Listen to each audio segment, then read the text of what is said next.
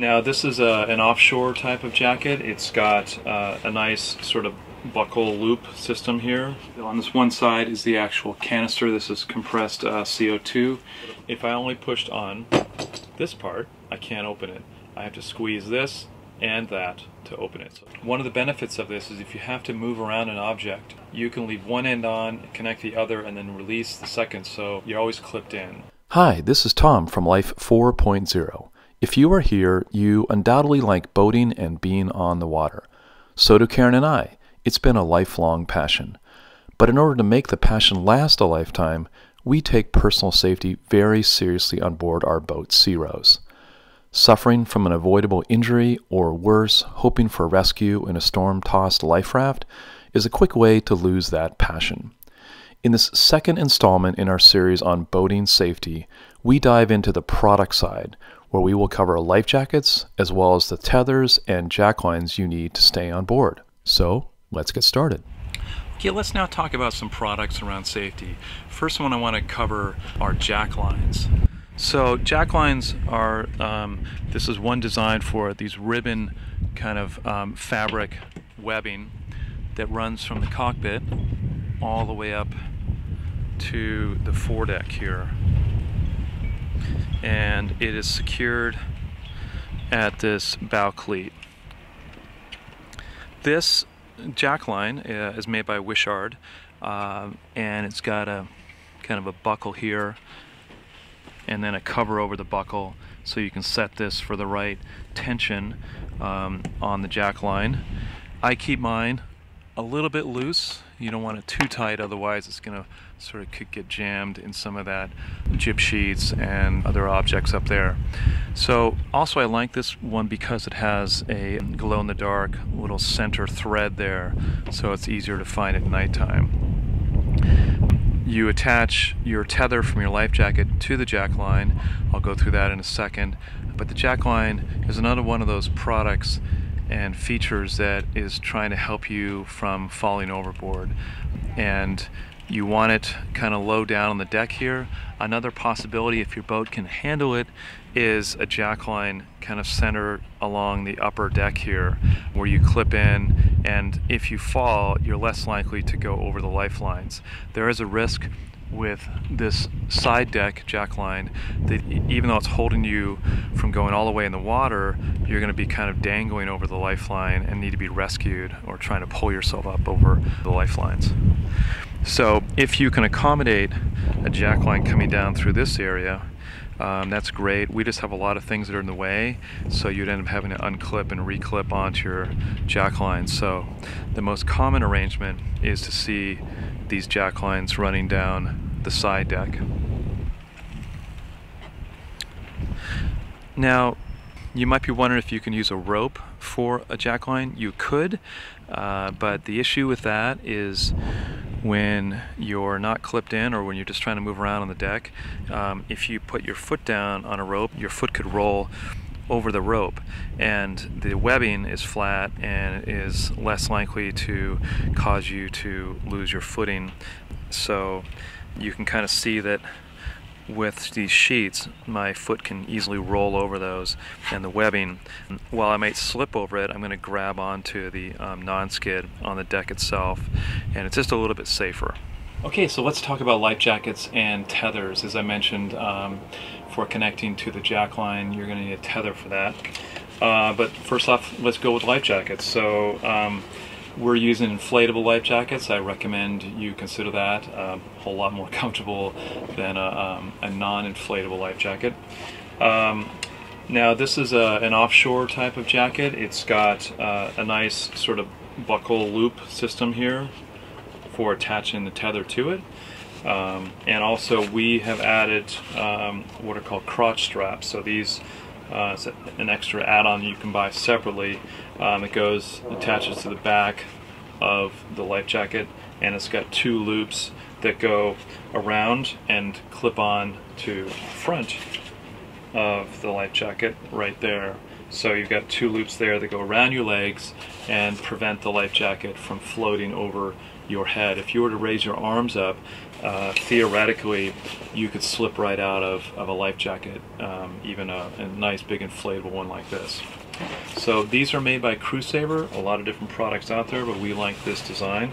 Um, so um, one thing we do when we have new people on board the boat is we make sure that um, they know obviously where the life jackets are um, and that they have a dedicated inflatable life jacket that they've already adjusted when they get on board so it's ready to go in an emergency. So I clip in here, again I've got these nice loops here, um, it's got all the standard things that uh, if it doesn't automatically inflate in the water uh, for whatever reason you can pull this uh, pull cord and that'll trigger the inflation tube to inflate the bladder and there's also um, an inflation tube for you to use if none of those other options work. Um, so for the crotch straps. I've got two here. Um, goes around underneath me there and clips back in. And the other side comes around and underneath and clips in there. Uh, granted, it's not terribly comfortable. Uh, you kind of get used to it. It's not. They're not really need to be really really tight, um, but it again, it's preventing the life jacket from lifting over your um, over your head and, and, floating away. So there's a setup there uh, for the life jacket. Um, inside here is a bladder that will inflate with the uh, cartridge, a um, compressed air cartridge, and a little tablet that disintegrates in the water and then triggers that inflation to occur. So when you fall in the water, these don't inflate instantly. It takes a little, maybe 10 or 15 seconds for that tablet to dissolve and then the life jacket will inflate. Okay, so let's dissect the life jacket itself. Um, it's a lot going on inside here. Uh, I'm going to open up for you downstairs. You can see what's kind of standard within the inflatable life jacket and what we've added on for additional accessories to make them even better. Okay, let's uh, take a little closer look at uh, our inflatable life jackets. I wanted to share with you um, what we've done with um, the standard setup for inflatable life jackets. Um, as I mentioned, this is a product from Crewsaver. A lot of companies make these. Uh, we happen to like the fit of these very well. Um, here, these are a couple years old, so the, the plastic here that you're normally supposed to see inside up to the cartridge um, is a little faded, but inside there you want you're looking for a little uh, green tab to be showing.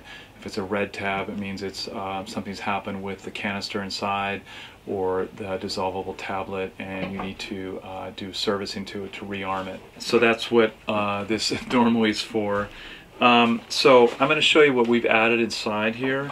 Um, this is a there's a a zipper here that, that just sort of breaks open when the thing inflates. Um, and I'm just going to go ahead and open that up. And on this one side is the actual canister. This is compressed uh, CO2 and uh, the whole arming setup here. So you can see inside here you're looking for a little green uh, color there. And uh, so there is a, a rearm kit that you should have several of these uh, with you. It's got a new canister, a new tablet, and a new little tab there um, to uh, hold it from accidentally being tripped open. But you want to check this on an annual basis and make sure it's okay. Now if I unzip this further, you're going to see there's a little light here. if you can see that very well. Uh, but this is uh, this is the light is actually made by Crewsaver, but it doesn't come with this jacket. I had to buy it separately. Um, but it attaches there's a little tab on the back there, and it attaches through a hole in this outside of this bladder, not not the inside part that needs to inflate and keep air in it, but just sort of a little seam part of it, and um, that's there, and it's got a little sensor down here. So when this comes in contact with water, um, it the light will activate. Because of the things I've added in here, this is a very tight fit. On the other side, if I open that up,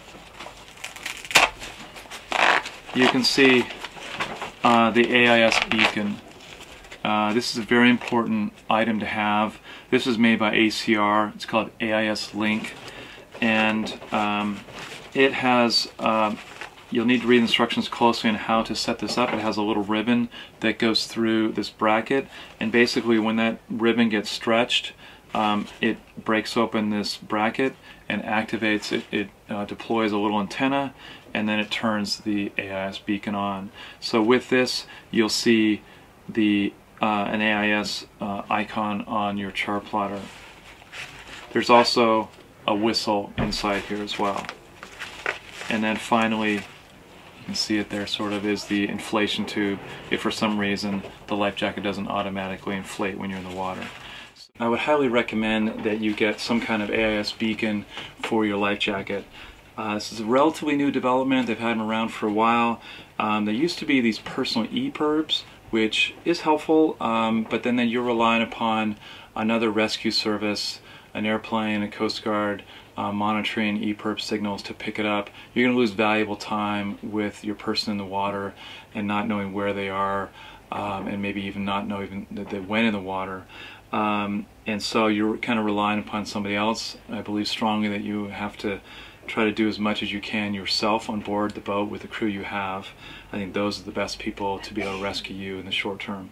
So have a look at those. Highly recommend that. Um, we're gonna we have two of these on board. We're gonna get two more so that we have four life jackets that are fully set up for offshore use. Okay, so that's the life jacket. Let's go into tethers. So the tether we like to use is a two-length tether. Um, it's got a short piece here and uh, like maybe a meter and a half length long piece. Um, this one, this brand um, has nice stretchable ones so that it doesn't have a long piece dangling next to you while you're going up and down to the foredeck. Um, now this clip, this is the end that clips to you, to your life jacket. Um, so I clip it around here like this and make sure it snaps in. It's got a pull strap there to release it from you. Um, so you connect to that. And then you choose one of these to connect to the jack line. And it can also, by the way, be any kind of object. It can be a lifeline, it could be a pad eye. You know, really the jack line is the one that you, you probably use most of the time when you're going up onto the deck. Um, these are a two-part uh, release clip. If I only pushed on this part, I can't open it. I have to squeeze this and that to open it. So it's two-part, and um, that's to prevent it from getting wedged into an area and having this part be pushed open accidentally and it releasing from whatever it's attached to. And it's a very quick operation. You kind of grab it with one hand and you're able to kind of do that in one motion and open it up. You have a choice obviously of short one and long one. Um, one thing that you do not want to do is take, for instance, if you're going to attach the long one to the jack line, you don't want to attach the short one to you. The reason for this is if there's an issue when you go overboard um, and you want, if you're being dragged in the water and having a hard time breathing, um, you want to release yourself from the tether. And you want to be able to find the strap and do one pull and let the tether leave you. If you happen to take the extra uh, second piece here and it's attached to you, you're still attached and you're trying to figure out how to get this off in the water um, under a lot of pressure. So um, that's why it's not good. I sometimes clip it to there like this so it can go up and down there um, while I'm using the long one. Um, or of course you can just let it dangle. Um, so that's how that works. Now this, like I said, you can clip into a jack line, you can clip into pad eyes, um, and uh, you got all sorts of options for doing that. Now you may want, be wondering why you'd want to have two lengths here. Um, one of the benefits of this is if you have to move around an object which will require you to disconnect your tether, you can leave one end on, connect the other, and then release the second. So you're always um, in, you're always clipped in. So you, you know, connect to the new object that you want to connect to, and then release the um, the old tether. Um, and it also allows you, if you don't want to uh, have too much travel distance. You don't want to have a meter and a half of distance that you can fall. You can attach with a short one and be more in control. So that's about tethers. Okay, that wraps up this second video in our series on boating safety. As always, we hope you enjoyed it, and we encourage you to like it so others can more easily find this kind of content. Be sure to check out our playlist of other how-to videos on our Life 4.0 channel, as well as our many sailing adventure videos, as we explore this amazing planet one anchorage at a time.